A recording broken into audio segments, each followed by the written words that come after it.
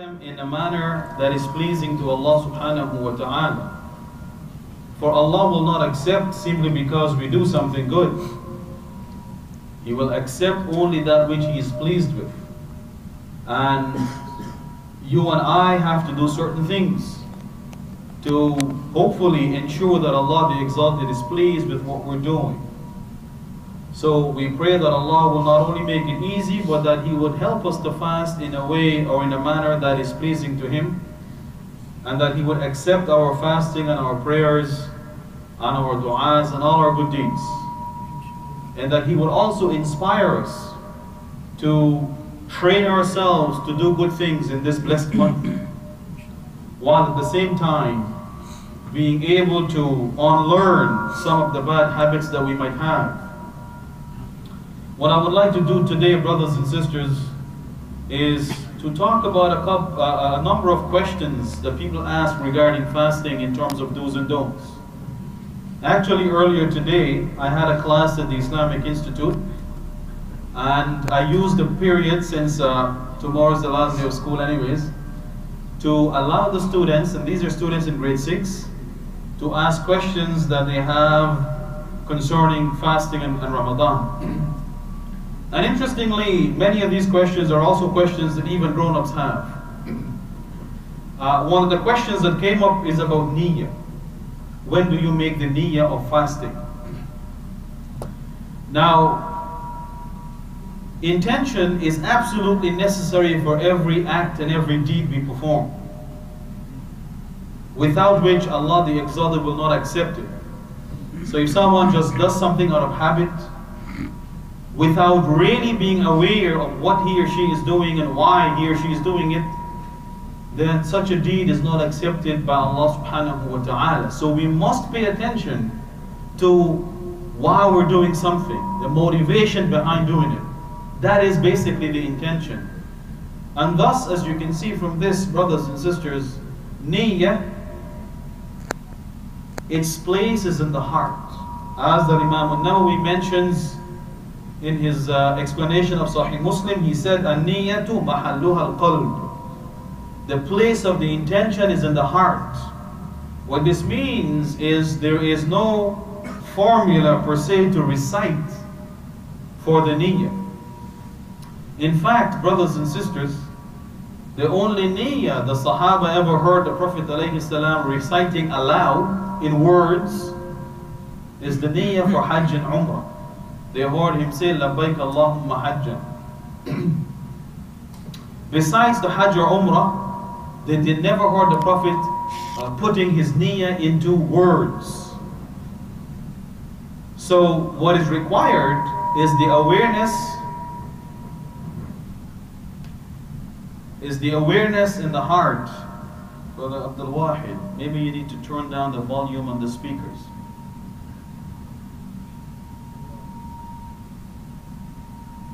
What is important is the awareness that a person has that he or she is going to do this or about to do this. That's what the niyyah is.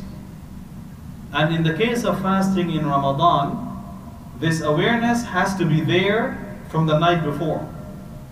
The Prophet ﷺ said there is no fasting for the person who does not make the niyyah from the night before. But what that means is that when you go to sleep, or just prior to sleeping, when you set your alarm clock, to wake up, I don't know, 3.15 maybe or 3 o'clock, knowing that you want enough time to eat your suhoor before fasting, that is your niyyah right there. That awareness you have. So there's nothing that you need to recite per se as the niyyah. It's that awareness that you have when you, when you do these things in terms of setting your alarm or in terms of checking that the alarm is set to the proper time and correct time and it is set to AM rather than PM, alright? If you set it for PM, you know what will happen. See, this is your awareness. And this is what the niyyah is. So in terms of niyyah, it should happen the night before. One should be aware that he or she is, is going to uh, wake up the next morning uh, uh, in order to eat suhoor for fasting. That's your niyyah. Also, people have asked, can you make one niyyah for the whole month of Ramadan? Now, although we're re- required to fast an entire month, we still have to make a niyyah for every day of fasting. Because each day is an independent period of time from the next day. If we were fasting continuously 24 7 for the month, and that of course will probably kill us, uh, maybe we could do that. But since each day is a time period by itself, it has a beginning and an ending, we are required to renew that niyyah every night before the next day of fasting. The third question that comes up a lot as well is whether or not a person is allowed to brush his or her teeth while fasting. Many people think that using toothpaste is not allowed because it has some kind of a taste. Well, brothers and sisters, the Prophet ﷺ made it clear, and Allah the Exalted made it clear in the Quran that it is eating and drinking, that is swallowing anything that goes down the throat, this is what breaks the fast. And unless you're using toothpaste with the intention of eating it, then it does not break your fast. It helps to keep your mouth clean, which is highly recommended. The Prophet ﷺ said in one hadith in Sahih al-Bukhari, السواك مطهرة للفم مرضاة للرب السواك مطهرة للفم Brushing the teeth cleans the mouth. وَمَرْضَاتٌ لِلرَّبِّ And it is pleasing to the Lord.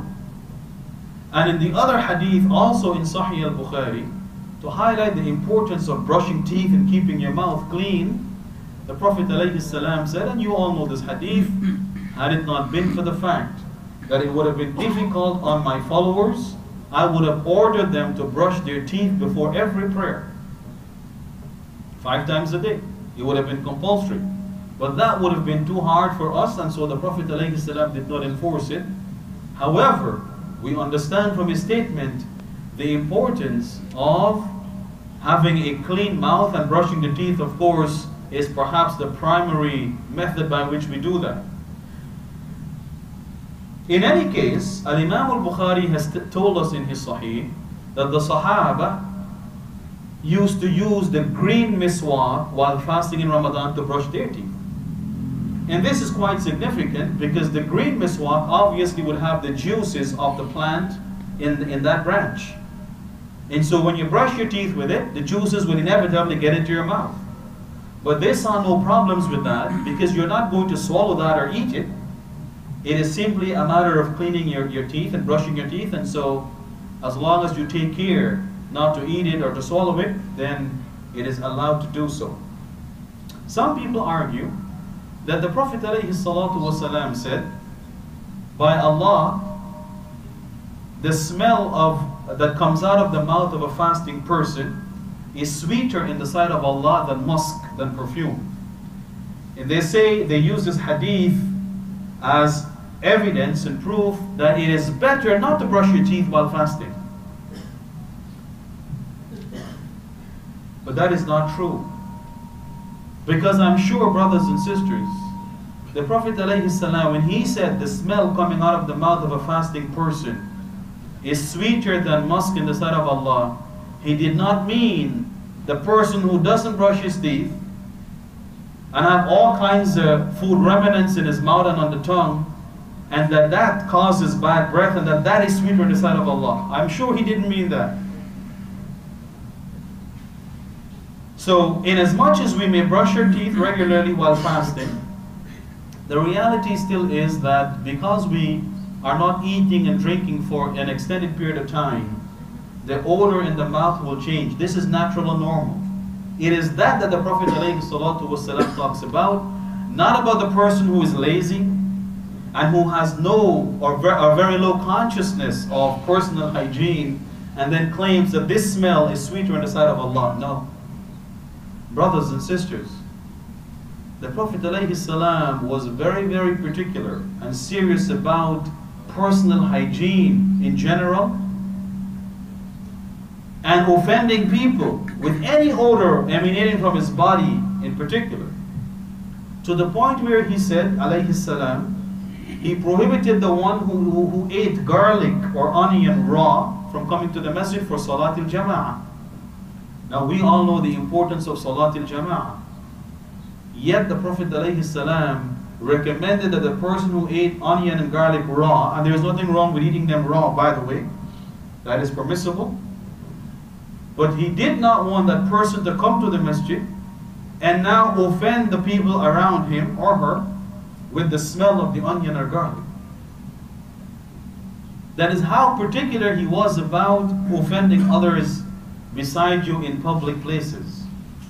And so we need to take care, even while fasting, that, you know, see, brothers and sisters, fasting and these ahadith should not be used as an excuse for laziness and for uh, untidiness and for dirtiness. No. It shouldn't be used as excuses for this. We do the best we can in terms of keeping our mouths clean, and then eventually, of course, there is a change of odor, and that is what the Prophet ﷺ referred to while fasting.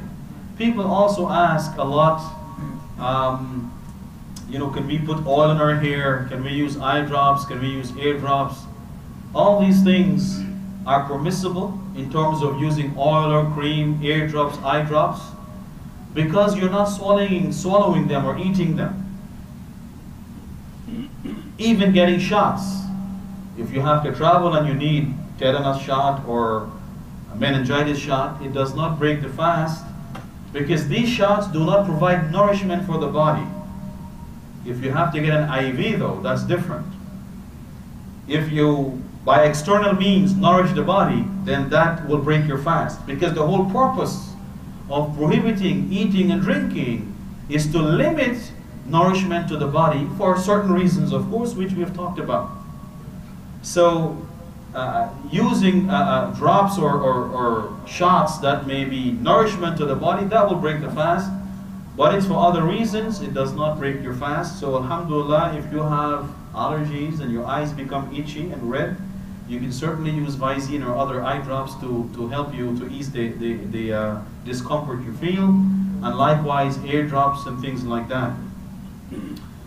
Uh, people also ask what happens if you break a fast while fasting in Ramadan. Well, there's a couple of scenarios we need to look at. First of all, the breaking of the fast can be deliberate, or it can be out of forgetfulness. So let's deal with the deliberate breaking of the fast in Ramadan. The deliberate breaking of the fast in Ramadan has two scenarios as well. One is that a person knows and deliberately breaks the fast with a valid excuse. And the other, of course, is the one where the person has no valid reason or excuse for doing so. Now, breaking of the fast intentionally, knowingly that you're doing this, with a valid excuse, is permissible if you reach that stage where you're not able to continue fasting, then you are allowed to break your fast with no sin incurred. Although the person will have to make up after Ramadan for the number of days missed, or this one day that is broken in Ramadan must be made up for uh, with another day after Ramadan sometime. But there is no sin. If the breaking is done with a justifiable reason, such as becoming ill, or such as reaching a point where you become extremely hungry and you cannot bear. Because the whole objective of fasting, brothers and sisters, as we have uh, talked about before, is not to put our health at risk or our lives in danger. Allah says in verse 185 in Surah Al-Baqarah, in, in context of fasting, يُرِيدُ اللَّهُ بِكُمُ الْيُسْرِ وَلَا يُرِيدُ بِكُمُ الْعُسْرِ Allah wants ease for you, He does not want hardships, unnecessary hardships. Now, if a person deliberately breaks the fast without a, uh, a good excuse, then breaking the fast without a valid excuse, deliberately of course, is a sin. And that individual must do tawbah and istighfar to wipe out that sin of breaking the fast without a valid excuse. Plus, that person still has to fast one day after Ramadan to make up for this one day that is broken in Ramadan. It's one for one. Now I know there are ahadith and so on that talk about that highlight the serious nature of deliberately breaking fasts without valid excuses. But in terms of the fiqh ruling, of making up for the one day that is broken, it's one for one. It is one for one. But there's a sin, of course, in breaking deliberately without an excuse. So that is an independent issue for which the person needs to do tawbah and istighfar. And Allah the Exalted is forgiving if once we're sincere. The other scenario is where a person unintentionally breaks the fast. So he or she may forget and eat and drink. Forgetful eating and drinking does not break your fast, period. And this is based on a hadith in Sahih al-Bukhari in which the Prophet ﷺ said, من نسي فأكل وشرب فليتم صومه Whoever forgets and eats and drinks, that is while fasting, let him complete his fast. Complete it, it's perfect. فَإِنَّمَا أَطْعَمَهُ اللَّهُ وَسَقَى For surely it is Allah who gave him to eat and drink. Now, a couple of points to note here.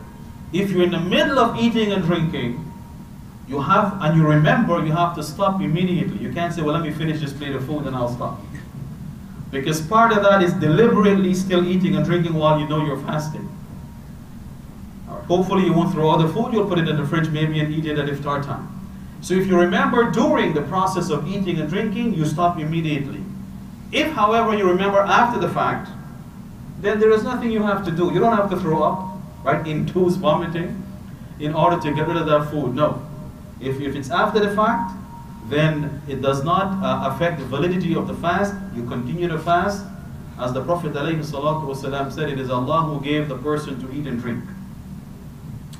Now, on the issue of vomiting, again, many people uh, are of the view that it breaks the fast or they're not sure.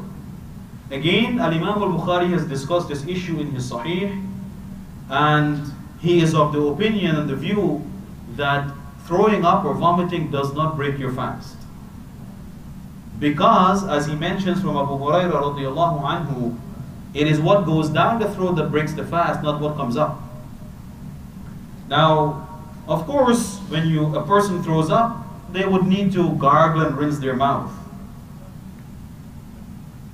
And there may be a little bit of taste after that, sour taste if you like. Uh, that is okay because you have no control over that.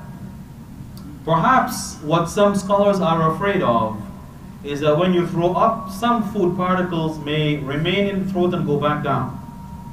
The thing is, brothers and sisters, that you and I, you and I have no control over.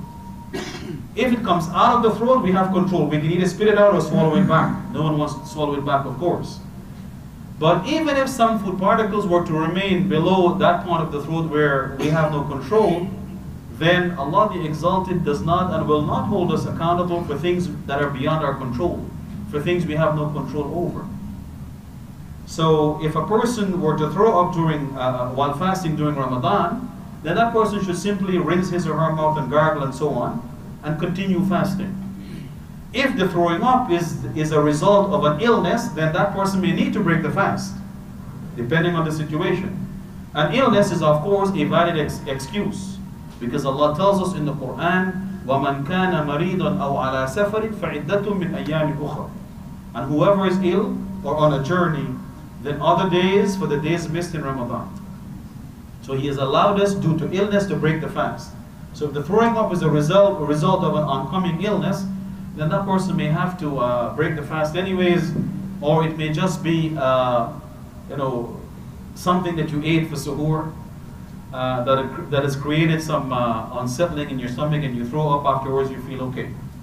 So uh, may Allah subhanahu wa ta'ala bless all of us. I know there are many other issues uh, and questions that you might have and so on, Uh, but hopefully as Ramadan progresses, we can discuss some, if not all, of these issues uh, uh, and matters. Uh, also, you know, perhaps during the khutbahs and so on in the month of Ramadan, you will hear a lot more about Siyam and its rules and regulations and objectives and so on. And may Allah subhanahu wa ta'ala bless all of us. May He open up our hearts and minds so that we can understand this message that He has revealed for mankind. And may He inspire us all to live by this message. May Allah the Exalted make, fasting easy for us uh, uh, in a manner in which, in a manner that is pleasing to Him. And may He accept our siyam, our salah, our dua, our qiyam, and all our good deeds. And may He help us to avoid things that are sinful and useless while we fast in this month.